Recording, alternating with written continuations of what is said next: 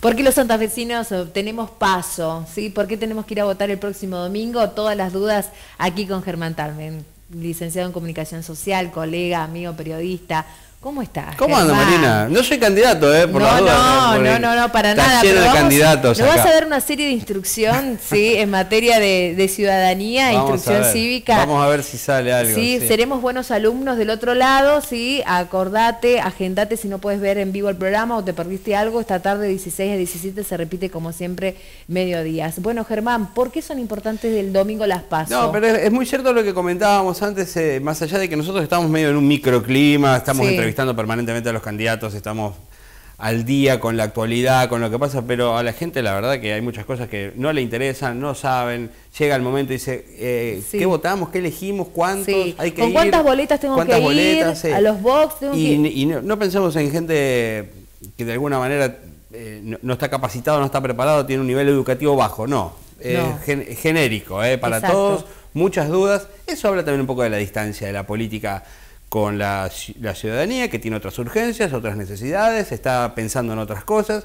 Y cuando nosotros le hablamos de elecciones, de conformación de listas, la verdad, es solamente le hablamos al micromundo político, la gente está preocupada claramente por otras cosas, muy evidenciado en esta elección. Sí, la gente está preocupada cómo llegar a fin de mes. Y sí, eso quedó muy claro en todos los procesos electorales que se vienen dando hasta ahora en las, en las provincias, con bajísimos niveles de, de votantes, ¿no? Apenas apenas en el 60. Vamos a ver qué pasa en la provincia de Santa Fe. Se supone que puede ser una excepción, se puede, en realidad puede tener una buena convocatoria.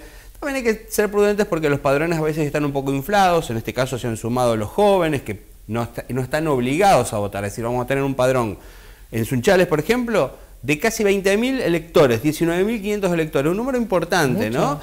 Eh, 200 más de la elección pasada puede ser estos jóvenes. ¿Va a haber cambio de escuelas en los que estábamos acostumbrados a votar en la misma escuela? Hay, hay, hay, un poco más de mesas, hay un par de mesas más, hay 56 mesas en Sunchales, se dividen en 8 establecimientos educativos. Ya en la última elección se agregó la escuela, el Colegio San José con tres mesas, las últimas del padrón, creo que empieza en la W hasta la Z, los últimos del abecedario, por supuesto un padrón unificado votan en el Colegio San José hay tres meses, el resto en las habituales. Puede haber algún corrimiento, sí cambió la numeración, Marina. Eh, eh, a ver, se usa otro, el padrón nacional cambia la numeración de las mesas, no, no se acostumbra en eso, pero bueno, está para consultar. Y si la gente tiene dudas, puede consultar el padrón definitivo de Elecciones Paso 2023 ingresando a esta página web www.santafe.gov.ar barra elecciones 23 barra consulta padrón definitivo. Allí tienen toda la información sobre qué establecimiento educativo les toca votar. Googlea padrón Santa Fe y, ahí le aparece el link. Pide los datos, documento, es un, capchaca para verificar Bueno, mucha gente que se está acordando ahora, ¿dónde tengo el DNI? ¿eh? ¿Qué, tema ese? ¿Qué pasa si no tenemos el DNI? si no tiene DNI no puede votar. Tiene que ir con el último, además eso es... Sí, si voy al registro civil a lo último y quiero hacer una constancia... Eh, no, tiene que ir con el DNI con el que esté además con el, el, último que esté anotado en el padrón, digamos, si es duplicado o triplicado, el tipo de DNI, hay, varios todavía,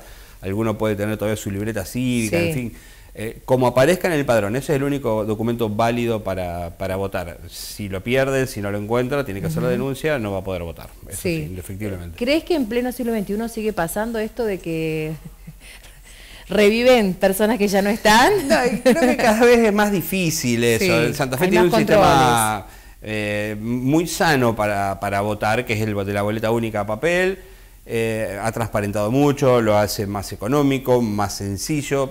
Creo que se podría avanzar un poquito más con algún proceso electrónico para que sea más rápido el proceso de datos, pero en principio es una forma que ha más rápido. Por más que tengamos cinco boletas, ¿va a ser rápido el domingo? No, no va a ser rápido el domingo. la elección primaria es mucho más compleja que la general por la cantidad que hay las instrucciones para las autoridades de mesa es empezar a escrutar desde los, mm, las categorías provinciales a las locales. Y por ejemplo, eh, bueno, para gobernadora, lo que conocemos son los, los, partidos tradicionales, pero hay muchos más. Para ¿Está diputados, la fotito de cada uno? Claro, la fotito del gobernador, eh, creo que solamente en la boleta está el gobernador, pero está la nómina. De diputados, es una boleta de hoja A3 de color naranja, hay muchísimos eh, candidatos de distintos frentes, de distintos partidos. todo ese proceso lleva mucho tiempo hasta llegar a los cargos locales. A menos que ya estés decidido. Sí, pero para la hora de- eh, para, la- para votar es rápido, porque vos marcás con la cruz o no marcás nada si querés hacer un voto en blanco. Pero para contabilizar a la hora del escrutinio, ahí sí lleva tiempo, hay que abrir urna por urna, hacer las pilitas, contar. No, lleva su tiempo, hay que ser paciente. ¿Qué pasa si no quiero ir el domingo a votar? Viajo, busco cualquier excusa, perdí el DNI o directamente no voy. Bueno, lo primero sería decir, vayan a votar, háganse cargo, hagámonos cargo del, del deber cívico de ir a votar. Ahora, eh, las pasos son obligatorias, pero uno puede excusarse, tiene que hacer el trámite de, de- ante el, el, eh, juzgado, ante la policía. ¿Hay algún problema sobre eso? No, no, pero tiene que ir a manifestar su intención de no votar. Tiene que ir y decir, yo no voy a votar, hace su excepción del voto. ¿A la policía? Sí, en policía, sí. Y no va a tener problemas, eso no, no, no es ninguna ¿Y penalidad. si no voy directamente, me Bueno. llega alguna multa? A la hora de gestionar algún trámite a nivel nacional. Nunca pasó, me- Marina, nunca no, jamás pasó nunca eso. pasó. Nunca pasó. Pero bueno, sí, es una penal- hay una penalidad que nunca se cumple, como, como tantas otras Sí. penalidades que nunca se cumplen. Pero bueno, eh, tampoco es que no puede votar en la general, tampoco es que Sí, le o van a me trabar un hacen alguna traba si tengo que salir fuera del país. Dice que había antes sí, sí. un trascendido que se decía nunca de que quizás los papeles no salían en Eh, forma, que se te no, nunca ha pasado, nunca ha pasado. Pero bueno, vaya a votar. Y ¿A si no, vaya y haga la manifestación voluntaria de decir yo no voto en, en las primarias, en las generales sí es obligatorio. Es obligatorio. Eh, ¿Qué pasa, eh, hablando de, de ir a votar, de- del compromiso y la responsabilidad que tenemos como ciudadanos, ya sea en las PASO o en las generales? Eh, ¿A cuántos kilómetros de distancia tengo que ir para que eh, no Eh, se me multe? Pregunta de instrucción ciega. Son 500 kilómetros, Muy Marina. bien. Son Bueno, 500 ya- ya- kilómetros. lo sabemos, pero al público Son se 500 renueva. kilómetros. O sea, tiene que estar en Buenos Aires. eh, Bien, si me voy a. Córdoba- No, a Córdoba no. No pasa nada. Y si me llega a pasar que en el momento de la elección no estoy en mi ciudad, en la ciudad en la que me encuentre a menos de 500 kilómetros, debería ir a la comisaría Sí, más cercana y hacer el despargo. el Incluso puede uno decir, eh, hacer una, tener un certificado médico, que puede estar enfermo, no Sí. puede ir a votar. Este, bueno, hay un montón Sí, de, eh, de circunstancias. excusas y de circunstancias. Y no va a haber penalidad por eso. Tratemos de ir, de hacer un, es un ratito que le dedicamos a, a nuestro deber cívico. ¿Te ¿no? parece que la gente tiene toda una ensalada rusa en Sí, la tiene cabeza? una gran ensalada rusa y de Incluso otros con los candidatos locales, ¿no? Claro, porque la- las, las pasos son, son complejas para el ciudadano común. A ver, eh, es un buen sistema, ha mejorado la ley de lemas, que era lo que teníamos en Santa Fe. Este sistema trata de, de ser superador, es un sistema que se imitó a nivel nacional, pero tiene algunas trampas del propio sistema. Y en Sunchales se va a dar una situación de esta.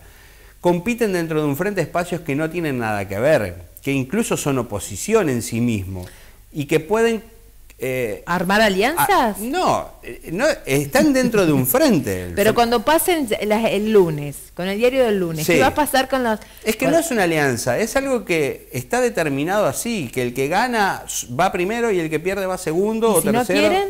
Bueno, si no quiere el que pierde, eh, puede optar por no ir, pero el que gana no puede decirle, no, vos no vengas. ¿Me explico? Eh, es un derecho que le cabe al que sale segundo de acompañarla en el orden que le toque por el sistema proporcional de distribución de cargos. Y si cuando vos escuchás las propuestas son tan diferentes uno del otro, Bueno, tendrá- parece imposible claro. que se lleguen a juntar y a, y a coincidir. Y tendrá que tener la madurez de decir, yo no puedo acompañar a este candidato porque no coincido, entonces mi lista se baja. Pero eso es un acto voluntario, no está obligado a hacerlo y repito, mucho menos está obligado o tiene derecho el que gana a decir, no, vos no te sumás a mi lista. Por el contrario, si el que pierde le corresponde ser segundo o tercero en esa lista, lo, lo puede hacer sin problema. Bueno, ¿qué va a pasar con Canal 4? ¿A qué hora comienza el programa especial? A las 6 de la tarde, pero todo el día, ¿eh? Todo a el pleno, co- cobertura especial, como es habitual. Vamos a estar cubriendo a cada candidato votando. Sí, en, Colonia en sigue Sí. eh, como candidato, una vez más, renueva eh, el actual presidente Hugo comunal, Michelini. Hugo Michelini. En Ataliba acabamos de ver recientemente la presentación de la lista Ahora Cambia, eh, Ataliba Cambia, con eh, José Álvarez. Sí, y el oficialismo Y el de Ataliba oficialismo. también. Aquí una particularidad, porque va a haber una interna, el domingo hay internas, pero que no definen nada. Va a ser como una, una encuesta general, ¿no? Sí. Como para saber a dónde están, para así definirlo Sí. en la elección de Sí septiembre. se va a definir la interna de, eh, de Eh, los eh. candidatos Pulga López, Eso en Ataliva, en Sunchales No, en sí se Sunchales, en. Sunchales, se Pulga define, López, claramente. Jorge Arruc y eh, Santiago Santiago los Dobler. tres candidatos a Los tres candidatos, ahí se Hay- de, en acá Sunchales sí. hay tres internas. Las, las dos categorías del Frente Unidos van a definir un candidato a intendente, la categoría de concejales, que hay tres candidatos a concejales o tres listas de concejales,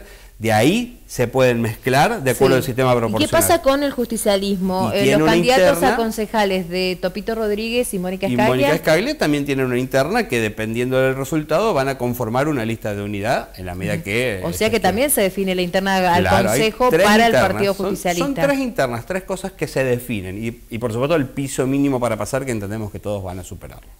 Gracias, Germán. El Bueno. domingo vamos a estar atentos, ¿eh? trabajando.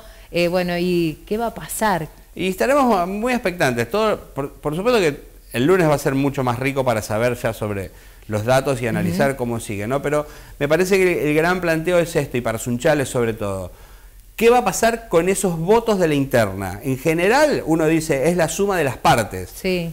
Me parece que en este caso eso no se va a dar y vamos a ver cómo se mueven esos votos que en principio van a ir a una interna para la elección general a qué candidatos van a acompañar. Marina, ¿qué pasa con las fiestas, bares, etcétera, etcétera? Bueno, hubo una, una comunicación del municipio que no había habilitaciones para este fin de semana, lo cual e- está bien. Eh, la, la ley dice que no puede haber actividad, ni siquiera se puede vender bebidas alcohólicas desde la medianoche ya hasta las 8 de la noche del día domingo. O sea que el no había permisos, no, no hay ningún tipo de no hay festejos. Eh, Esto lo, lo ha comunicado el municipio, pero seguramente... Ni de bares abiertos, nada. Probablemente la noche del domingo sí, pero La noche del domingo, no. eh, después de las 6, ¿se puede? Sí, después de las 8 seguramente, sí, cuando Bien. termine el proceso. ¿A qué hora abren los comicios a las 8 de la mañana? 8 de la mañana, por supuesto, autoridades está- está- están convocadas, estu- estuvieron capacitadas, hay mucha información en redes sociales para conocer el proceso de votación, este, manuales o tutoriales para las autoridades de mesa, tienen un procedimiento, hay que estudiar un poco. ¿A usted le tocó? No, ¿Alguna yo- vez le tocó ser Sí, presidente? 10 Muy- años. 10 años, ahí está.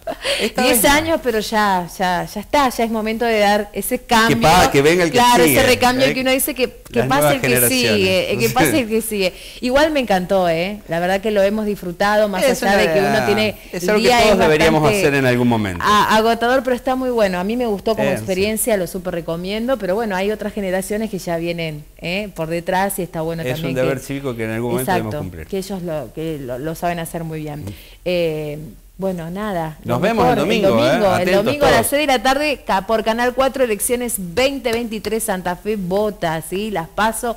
No se pierdan la conducción de Germán Talman con Lucas Galli y todo el equipo de, de Canal 4 y Grupo Meridiano.